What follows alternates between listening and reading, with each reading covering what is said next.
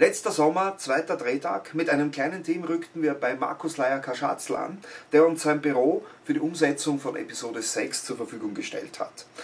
Wir brauchten einen ganzen Drehtag, schlussendlich ging es darum, einen der kompliziertesten Spezialeffekte im Film umzusetzen, nämlich die Verjüngung von Hauptdarsteller Rainer Kanz um 20 Jahre.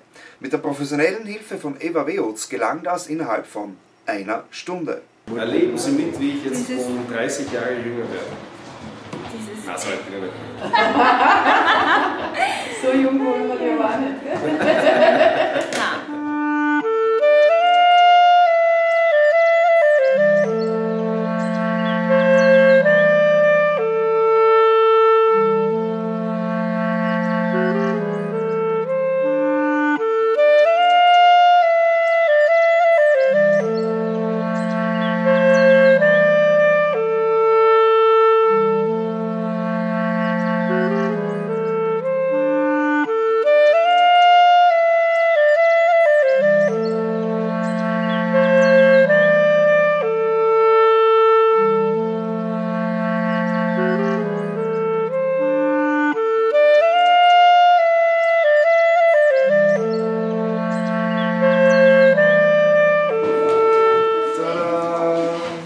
schließlich konnten wir mit dem Dreh beginnen.